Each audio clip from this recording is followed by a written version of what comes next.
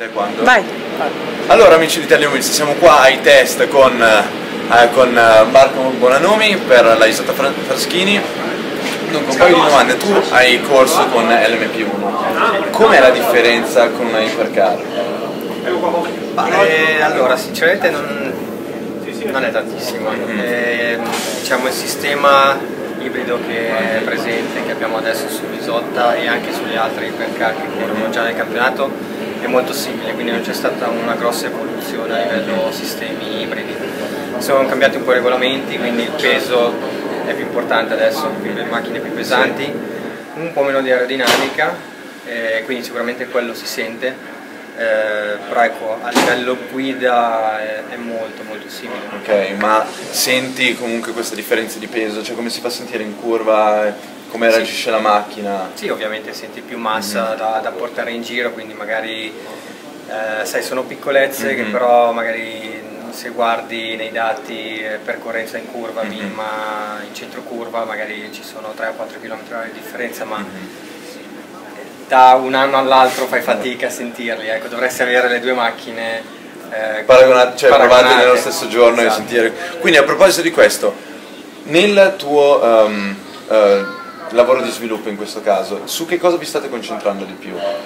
Ma adesso prima di tutto è il primo vero test Mhm. che, che il team sta svolgendo qui a Monza, hanno avuto un bel rollout a Valle Lunga, Mhm. però ecco questo è il primo vero test dove si è messo tutto insieme, tutti i sistemi attivi e quindi eh, sicuramente c'è la prima parte tutta di fase valutazioni, calibrazioni, sistemi, che sono- non sono pochi e quindi è abbastanza lunga e infatti abbiamo tutti i tecnici mm, stranieri tedeschi della Bosch, eh, HWA per il motore, quindi c'è tanta gente che ci lavora, ci vuole un po' di tempo per analizzare i dati e quindi siamo ancora nella fase di calibrazione e understanding della, della vettura, del bilanciamento e con tutti i vari sistemi che interagiscono tra di loro provo a spingere ovviamente un pochettino perché comunque finché stai nella finestra troppo safe alcuni problemi o malfunzionamenti non vengono fuori. Quindi Comunque si spinge sempre ma Sì. non cerchiamo ancora la performance. Ecco, a proposito, piccola curiosità, come cambia il mindset da quando dici ok, devo entrare in pista, spingere al massimo e vedere fino a dove posso arrivare con la macchina, dov'è il limite e quando invece hai, quella, hai un tipo di lavoro diverso e quindi non devi spingere fino a quel punto lì, ma devi proprio stare a essere più concentrato su sentire, capire e quindi tenerti anche dentro quel certo limite.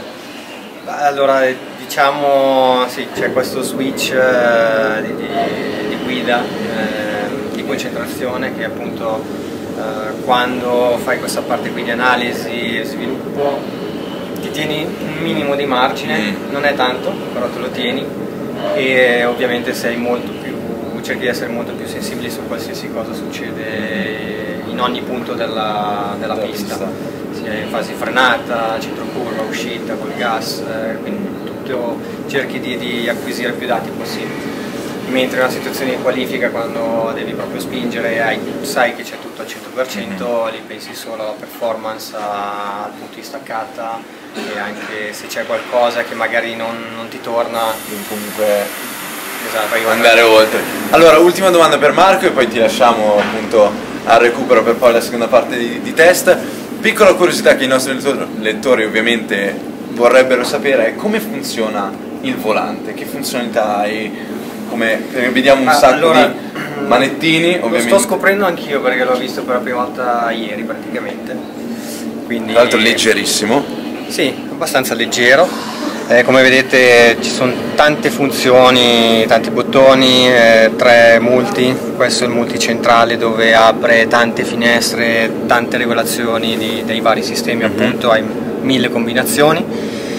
Ehm, però diciamo questi i bottoni più classici della radio, eh, push to pass, flash eh, del I-beam, il pit, eh, lo start per il pit stop veloce della, della gara, full corsiello quando, quando c'è qualche Mhm. condizione appunto di incidenti che devi rimanere a 80 km h eh, drink però alcuni adesso non, non funzionano ancora perché non è ancora completa al 100% ma ecco fatta un po' così e poi questi importanti sempre multi ma un po' nascosti e Quindi insomma ti, ti serve un po' ancora di tempo per imparare.